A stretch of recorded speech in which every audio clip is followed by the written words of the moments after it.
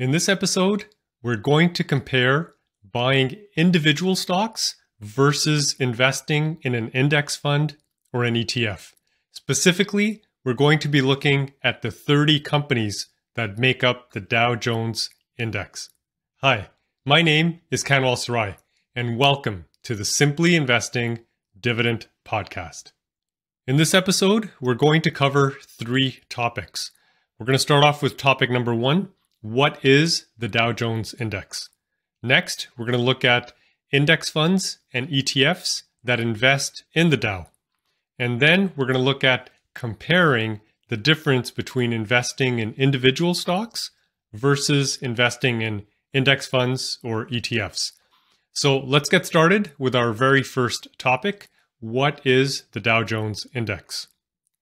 The Dow Jones Industrial Average, also referred to as Dow Jones, or simply the Dow, is a stock market list of 30 prominent companies listed on stock exchanges in the US. The Dow is one of the oldest and most commonly followed equity indexes. So when we say index, basically what it means is a list. So here it's going to be a list of 30 US companies. And that's why they refer to it as the Dow Jones Index or the Dow Jones Industrial average. Just a couple of facts here. The Dow Jones Industrial Average was founded in 1885, and the market cap today, which means the total market value as of this recording for all 30 companies in that list, is $10.9 trillion. So let's take a look back at the last 25 years. And we're going to look at the Dow Jones Index, we're going to look at the New York Stock Exchange index, which is all of the stocks trading on the New York Stock Exchange, and then the S&P 500, which is also another list, which is a list of 500 companies in the US. Now you can see up on the screen here, there's three different lines. So the line at the very top represents the one in purple represents the Dow Jones index and the line below it in orange represents the New York Stock Exchange index, and the line below that in light blue represents the S&P 500. Now, I'm not too concerned about the one line being higher than the other for now. The biggest takeaway here and what's important is you'll see that all three lines behave in a similar fashion. So when the Dow Jones index is down, so is the New York Stock Exchange, and so is the S&P 500. And when the New York Stock Exchange is up, so is the Dow Jones, and so is the S&P 500. So you can see that all three lines behave in a similar fashion. They go up and down almost together. And I say this all the time in my episodes. Stock prices go up and down all the time. And these lines are representing the accumulation of all of the stocks in each of those indexes or in each of those lists. So they go up and down over time. And over the last 25 years, and even more, but on the screen, we're just going to show the 25 years, you can see that all of these indexes behave in tandem. And so what this tells us is that the Dow Jones Industrial Index is a good approximation for what's happening in the stock market. Now let's take a look specifically at some numbers. So here we're going to go back 10 years and you can see the rate of return. We have one for the Dow Jones index and we have one for the S&P 500. Now the S&P 500 is made up of 500 companies, US companies, and the Dow, as we've already stated, uh, composes of 30 US companies. But it's interesting here, same as what I just showed you in the previous graph. The markets go together. And if we look at 2015, we can see there was a negative return for the Dow Jones, while the S&P 500 also had a negative return. In 2018, the S&P 500 had a negative return, so did the Dow Jones index. So they kind of follow each other. Now the numbers don't match exactly, but they're fairly close. I'll give you an example. In 2018, the Dow Jones was down 5.6%. The S&P 500 was down 6.2%. So The numbers don't match, but they're fairly close. If we look in 20, uh, 2013, uh, the S&P 500 returned 29%. The Dow Jones returned 26%. So again, the numbers are not the same, but they're fairly close. Now, if we look here on the next slide, what I've done is I've taken the average, the average rate of return for the last 10 years. And so we can see the Dow Jones had an average rate of return of 10.42%. The S&P 500 average rate of return of 11.56%. So again, the numbers are fairly close. So the Dow Jones Index is a good barometer of what is happening in the stock market. And we don't need to track 500 or 6,000 stocks. We can just look at the 30 and we can see what's happening in the US stock market. Now, the Dow Jones is made up of 30 companies, and I've said that before, but now you can see the list up on the screen. Now, I'm not going to read all of the 30 companies on the list, but you'll recognize a lot of the names here. So, Apple is on the list, Coca Cola is on the list, Microsoft, McDonald's, Verizon, IBM, Walmart, Disney. Those are just some of the examples of the 30 companies that make up the Dow Jones Index. Let's move on to our next topic. Now we're going to take a look at some index funds and ETFs that only invest in the 30 Dow companies. So I just simply Googled that question and it came up with a whole bunch of index funds and ETFs. There's a lot of them out there. What I'm going to show you on the screen here are just five. I just randomly picked five of them um, and I've shown them right up on the screen here. So we have the Rydex Dow Jones Industrial Average. You can see the, the symbol uh, for that fund is up on the screen. We have the TD Dow Jones Industrial Average Fund. We have the SPDR, Dow Jones ETF, ProShares Ultra 30, and the nationwide Dow Jones ETF as well. So the names are up on the screen, the symbols are up on the screen. Now, what's important to know here because you might be thinking, well, why don't I just invest in these funds instead of investing in those 30 stocks myself? And you could certainly do that. The biggest difference is that these funds charge a fee, an MER, which is a management expense ratio. That fee covers the cost of running the fund. So if there's any staff, any equipment, office space, marketing, advertising, all of those things that go into running a fund and promoting a fund, those costs have to come out of the funds themselves. So, you as an investor, when you put money into an index fund or an ETF, you're going to get charged a fee every single year. And that fee is a percentage of the value of your investment. So you can see the fees here. Uh, the first one up on the list is 1.58%. That's an annual fee. Uh, the TD has a fee of 0.88. Uh, the SPDR Dow Jones is 0.16. ProShares is 0.95. And Nationwide Dow Jones is 0.68. So the fees vary, right? So in this case, we're looking at just a sampling of five companies. The fees vary anywhere from 0.16 to 1.58. Now, this is correct as of this recording, right? Fees change all the time. So what we do now is we take an average of the five because I want to keep this simple. I want to give you one example. So we're going to keep it simple. And instead of dealing with five different MERs, we're just going to take the average. So the average here is 0.85%. So remember that number because we're going to use it in our next section. So that is the average MER fee of the five funds that we're looking at right now. So let's move on to our final section individual investing versus funds. So I've shown you this before, a couple of slides before. This is the rate of return for the Dow Jones over the last 10 years. So last year in 2022, the fund did negative 8.78%. The year before that, it returned 18.73%. The year before that, 7.25%. And the rest of the years, they're up on the screen so you can see them for yourself. And we saw that the average was about 10.42% over the last 10 years.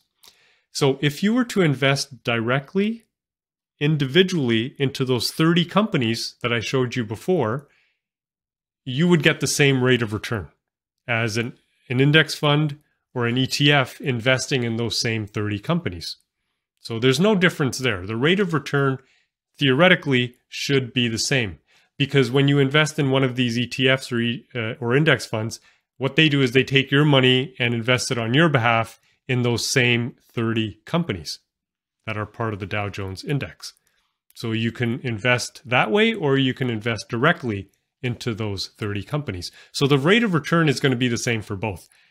The biggest difference, as I mentioned before, is going to be the fee. So the index funds, ETFs, and mutual funds all carry a fee. So in this case, we're going to let's go with the average, 0.85%. That is the average MER across the five funds that I'm showing you up on the screen.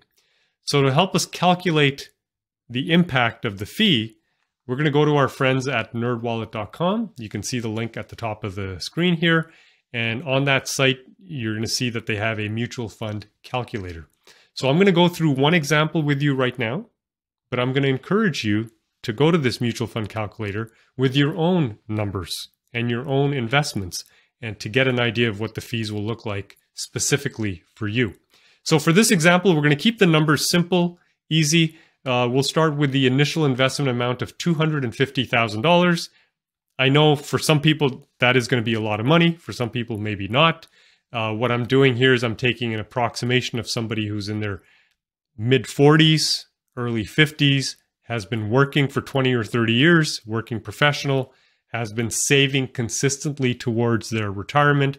So this would be a total of all of your investments in a 401k or an IRA. Uh, if you're in Canada, this would include your RSP or TFSA. So let's say the total amount available to you to invest at that stage in life and you've got $250,000 to invest. Again, I encourage you to go back to the mutual fund calculator and put in your own numbers. Future planned contributions, I'm going to leave it at zero. Now, most people invest regularly every month or every year. You either start with $50 a month or $100 a month or $200 a month towards their future savings. In this case, I'm going to leave it at zero. Okay, we want to keep the example simple. So we're going to assume that this person in this example is going to start off with $250,000 to invest, and they're not going to put a penny more in this investment for the next 25 years. So that's our time horizon. And the rate of return, I showed you at the beginning of this episode, the rate of return for the last 10 years in the Dow Jones has been uh, 10.42%. In the S&P 500, it was around 11%. I'm going to take a very conservative number here and put in 8 as a long-term rate of return. So let's stick with 8.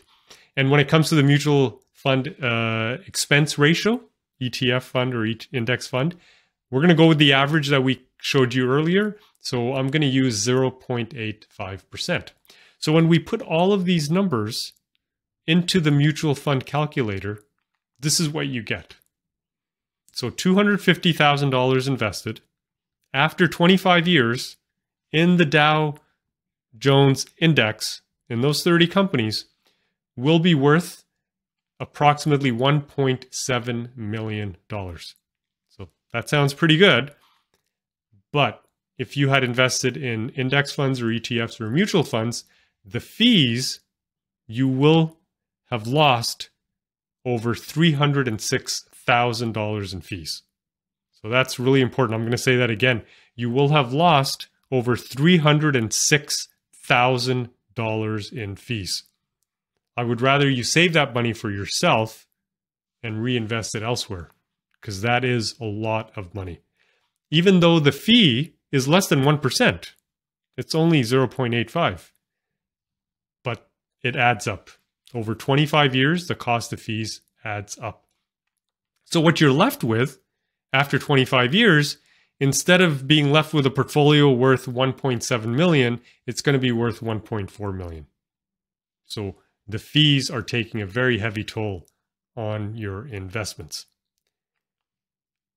So when we compare investing in index funds and ETFs versus individual stocks, we can see that individual stocks are going to put you way ahead. So let me share with you a quick model portfolio based on the Dow 30 companies, and then we'll come back to our slides here. So what you can see here on the screen is a list of the 30 companies that make up the Dow Jones Index. So I've put the company names here. The stock symbols are here. This is the quantity of shares in this model portfolio. This is the share price as of this recording, the dividends as of this recording, the dividend yield, and the current expected annual dividend income. And then the market value of the shares that you own. So what I did is I took the same two $250,000 divided by 30 because we have 30 companies. So it's approximately $8,300 in each of the companies. So I've taken the 250,000, divided it equally and spread it across the 30 companies. And so if we scroll down a little bit, you can see that the total model portfolio is approximately $250,000. And we can see here that this portfolio, if purchased today, would provide you in 12 months $6,767 in annual dividend income. Now, hopefully, this income will grow next year and the year after that and the year after that because these companies have a list, uh, have a history, sorry, not a list, have a history of growing their dividend every single year. So now let's take a look at what this investment, $250,000, could be worth in the future. So here we are using a spreadsheet to forecast. So it's not going to be 100% accurate, but we're forecasting. We're estimating what we think our portfolio will be worth. And again, I've taken the exact same numbers, so $250,000 to start with, and additional contributions, zero. So we've kept it the same. The dividends earned annually is approximately $6,700. That's what we saw on the previous uh, spreadsheet. So that's approximately the same. And what I did is I took the average dividend yield, which is 2.7% today for all 30 companies on the Dow Jones Index. So that is their average 2.7%. Uh, then we've added, of, of course, keeping it conservative, uh, stock price growth over time, uh, dividend growth over time. So that's all going to get calculated in here. And we can see that we end up with $1.7 million approximately, which is very close to the number that we saw when we used the mutual fund fee calculator. So this goes back to what I said before. If you invest individually in the stocks or you invest in the index fund or ETF, your rate of return is going to be the same. However, the big thing is going to be the fees. And you can see that the fee is not small. It's over $306,000 over 25 years. So the longer you invest, the higher the fees will be. The more money you invest, the higher the fees will be. The better the fund performs, the higher the fees will be. And the more you contribute regularly, monthly or annually, the higher the fees will be. So we want to avoid those fees if we can as much as possible. So here are some of the benefits of investing individually in those stocks. You have control over what and when to sell. So you can decide, for example, if Walmart is way higher than um, IBM, you may decide, okay, well, I'm going to sell some of the Walmart shares. I need some of the money. I'm either in early retirement or getting close to it, or just you need money for children's education or anything. Um, you can you have control over that. With an index fund or an ETF, you cannot specifically pick and choose which stocks to sell. Which also means you have no control over when you incur taxes when you're investing in an index fund or an ETF or a mutual fund. Whereas again, here with individual stocks, you can control when you incur capital gains or any uh, the dividends coming in, right? So you can invest more or less in specific companies that might be paying more or less in dividends. Now, of course, if this is in a 401k or IRA or RRSP, for example, in Canada or a TFSA, the dividends and the capital gains will be tax free. But you do have control when you invest individually in the stocks. And you also have control over the weighting of the stocks. So if you're investing individually and you really like, I don't know, Intel more than you do IBM, then you could put an extra $100, $1,000 in one company versus the other, right? The model portfolio I showed you was just taking the 250,000, dividing it equally by 30. But in real life, you don't need to divide it equally by 30. You can put more money in certain stocks that you like, or maybe they have a higher yield. So you could do that. But again, with mutual funds and index funds, you don't have that choice. Your money gets divided equally and put into those accounts. And one of the things I want to mention too is because you have control over what and when to sell, when the market tanks, you could sort of just hang in there and say, you know what, I'm going to hang on to the stocks. I'm not going to sell anything. I'm a long term investor. When it comes to index funds, ETFs, or mutual funds, any type of fund, when the market tanks and investors call the company and they want to redeem their money, those companies have no choice but to sell the underlying investment to be able to pay the investors back. And the worst time to sell is when the market is down, when it tanks, because then you're going to solidify your losses. So when that happens, everybody loses, everybody who owns that fund.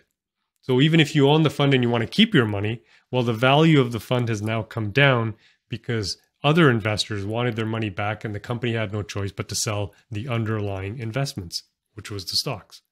Okay. And then the big one, of course, the last thing on the list, I've already said it, but I'm going to repeat it again, is you avoid paying the fees with individual stocks. And you can see that it is a big number. So, does this mean that you should go out and buy all of the Dow 30 stocks today? And the answer is no. There's a couple of more things that we need to look at right? Our approach to investing is to invest safely and reliably for the long term. How do we do that? We invest in quality dividend stocks when they're priced low. So, not every company today in the Dow Jones index is priced low. Some of them are priced high. So, we want to make sure we're buying them at the right price. Not all of the companies on that list today have debt, have low debt, or have a low payout ratio. So we want to check those things. So how do we know when you're looking at a company if it's a quality company? And how do you know if it's price low? So for that, I've created what I call the 12 rules of simply investing. You can see them up on the screen here. And for those of you listening, I'm going to go through them right now. So this is your checklist. If a company fails even one rule, skip it, move on. Even if it's in the Dow Jones index, skip it. We'll have to be patient.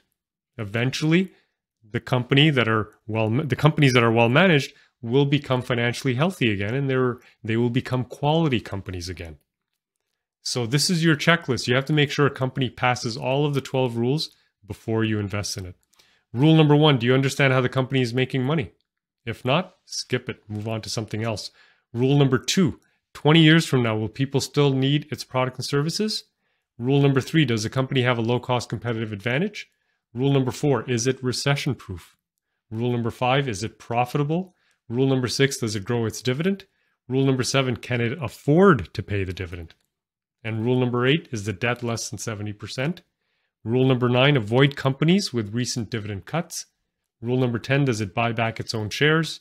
Rule number 11, is the stock priced low? That's where we check the PE ratio, the PB ratio, and we compare the current yield to the average 20 year yield. And rule number 12, keep your emotions out of investing.